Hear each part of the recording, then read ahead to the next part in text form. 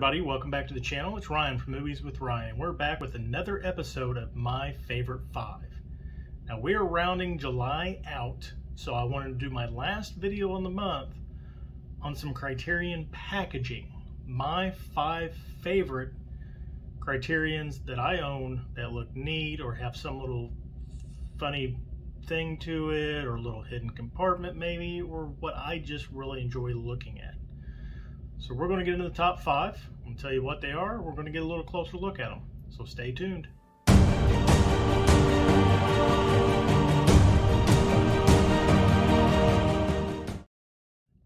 Starting at number five is a little Cronenberg piece called Videodrome. So let's take a look at why I think this has some great packaging. So breaking into Videodrome, there's nothing super amazing about this case from the outside, at least the way it looks.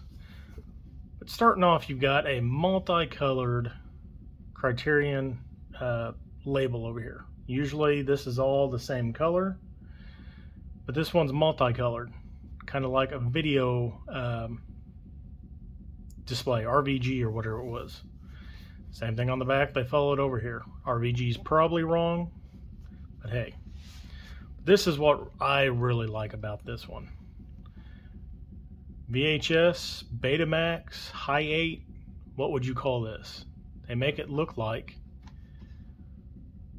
a videotape.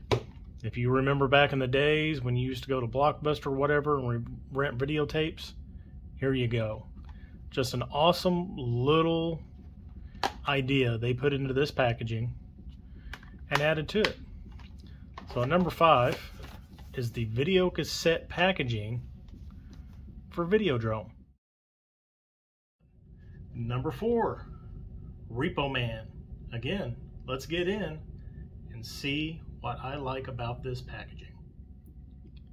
All right, getting into Repo Man. As you see, the Criterion label here on the side is all one color. But what I really like about this is just the extreme cool, colorful packaging on this. You got bright greens, kind of a bone white. I love the fact that they bring it into the digibook itself. Look at that. I mean, that's just crazy neon greens. The back is the same way. It even follows into the inside of it where they go to that comic book style artsy poster look. And then you got some cool, just retro, funky stuff on the book. Now, I just recently watched this. I wasn't thoroughly impressed on it. Um, I thought it was good for what it was. Definitely was not expecting the sci-fi element of it. But Repo Man. The reason I love this is just how colorful it is. Coming at number three, Dazed and Confused. As you can probably tell why I might like this, let's take a little closer look and see why. Dazed and Confused. Now they do have another title that implements this same style with the holes cut out in it, and that would be Parasite. But I really like this one because it captures some essence of the movie. It really feels like the 70s. So let's look at this. Again, you've got the circles cut all throughout here. Shows the main characters there. What I like is when you pull them out, you now have continuation of the same characters through those same holes. So like here, you got Matthew McConaughey. You got Matthew McConaughey. You got the girls. You've got the girls. I forget what his name is. There's that. I mean, it's it's really, really, really neat how they do that. Then you get inside, still carries on to that 70s stoner vibe. Comes with a poster, the actual Dazed and Confused poster. I don't know if I'll be able to get it completely in here, but we'll see. Dazed and Confused. How many Criterions do you know that come with a poster? I thought that was a cool addition. That's one of the reasons why this ranks up high on Criterion packaging. And of course, they've got the really, really nice book with all the contents in there. Again, carries through the style of the movie and really delves into it greatly. Again, it's carried over the colors, the color palette from the 70s. You've got the back, you've got the same thing going on here. But for my number three choice of cool Criterion packaging, Dazed and Confused gets my pick. Number two, Lone Wolf and Cub. You may already know this one if you know the secret, but let's get in it and see why I like this. Lone Wolf and Cub. Mm, something I haven't delved into yet. I need to watch these. Now, I've seen Shogun Assassin. I've seen it a long time ago, which is the butchering of the first two movies as they were stitched together for an American audience.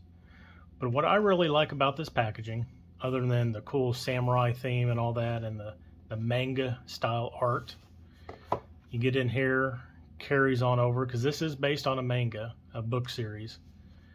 You've still got that same same carryover all the way through. So it really feels like you're reading the book it's based on. Of course, then you've got the really nice book to go with it. All the information. But here's what I like most about it. If you do not know this secret, here you go.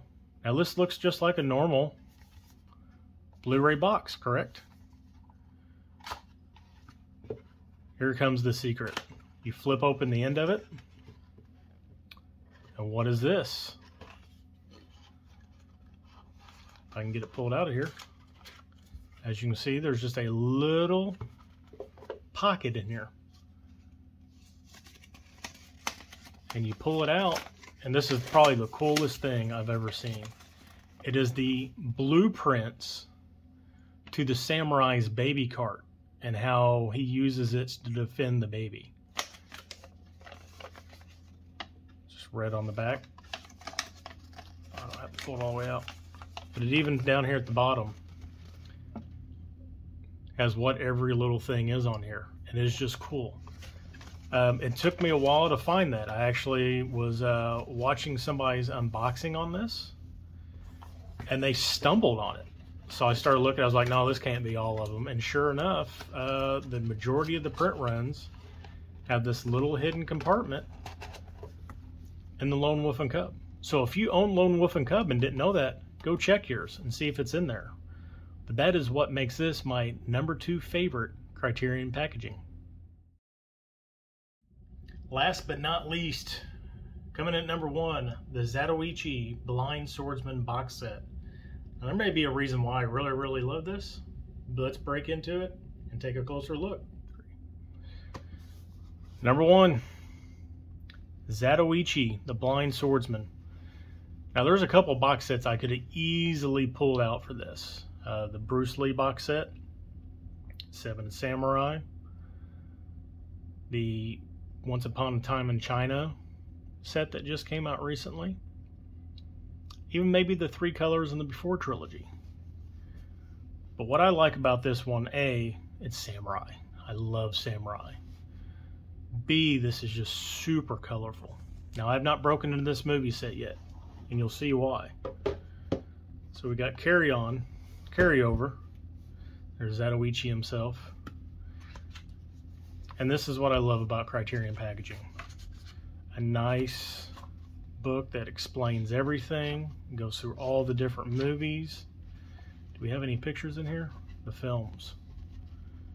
Yeah, so it breaks down each film, and I believe there's 25 or 28 films in this set. Of course, Zatoichi also has, I believe, a book series. I don't know if the book series came before or after the movies. But that's the other reason I like Criterion, is just the wealth of information you'll find in their books. Let's break into the actual movie book. This thing is hefty. Again, I love the art that carries over with it. Very comic book stylish, like 60s or 70s comic book style. And the colors are beautiful. And then, of course, you open it up. Now, each disc looks like it has three movies on there. So, as you can see, there's one disc. There's two discs and they carry on the theme. So each one is each page is themed differently with the different color uh, sequences in that. Like you get your yellow, white, and blue, yellow, white, and blue. Green, blue, and orange follows through. Gold and black. Yellow, blue, and red. Blue, green, and white. 25 movies plus supplements in this just awesome, awesome Criterion package. Zatoichi is my number one of my favorite Criterion packages I own. That does it, folks. Five of my favorite Criterion packages in my Criterion collection. I like each one of those for a little bit of a different thing, but what it boils down to is just the care and consideration that Criterion puts in every single one of their releases. Whether it be a specific art style, supplements, bonus features, little hidden surprises, but overall their packaging is great. So that's going to do it for this video. I got one thing to say though. Thursday night, tomorrow, would be on a three-way battle, 4K Lowdown, Bearded Four Eyesman, and myself. We're going to go for the Geriatric Hip Breaker event. No holds bar. I believe 11 rounds. Free for all. It's going to be fantastic. Sunday, I've got my live stream, 8 p.m. Eastern Time, my channel. I got KB Loves Movies, 20 and 21st Movies, James, Tony over at Basement Blues, and of course Tim, which has been fantastic to me on live streams.